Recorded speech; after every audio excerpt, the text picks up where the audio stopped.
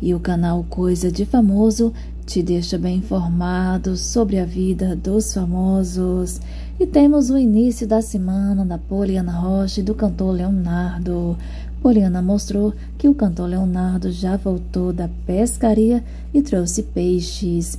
Leonardo contou que por lá, né, no Pantanal, onde estava pescando, aconteceu dele quebrar um dente.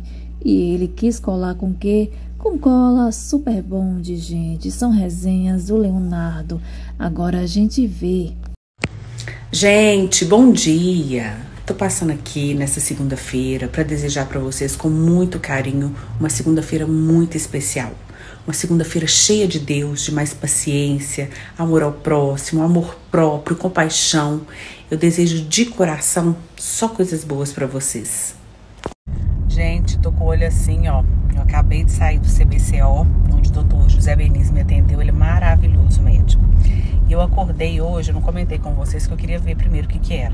Eu acordei com uma irritação grande nos olhos, sabe?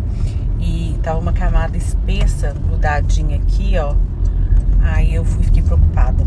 Aí acordei 7 horas da manhã, já vim aqui no CBCO, já consultei, mas graças a Deus não é conjuntivite que eu tava preocupada, que tá conjuntivite, é só uma irritação mesmo nos olhos, ó. E ele pingou o colíriozinho e falou que daqui um tempinho eu tô boa. Se Deus quiser, me deu uma medicação para usar e é isso.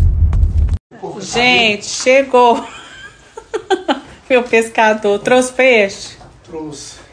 E voltou. Pa, voltou... pintado, Ah. dourado e pirapitanga. E voltou tranquilo, feliz. Não, fui demais lá, meu dente quebrou e eu tive, tive lá em Coxim comprar uma super bomba, cola o dente. Eu não tirei foto, assim, sabe? Eu fechei só com a mão assim. Não...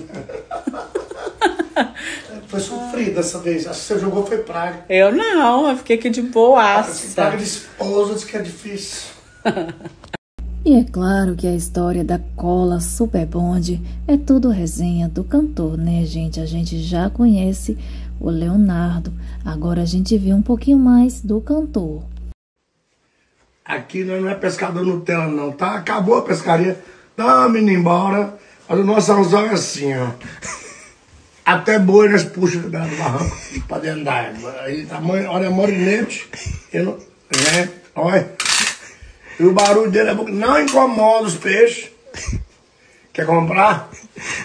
100 mil reais.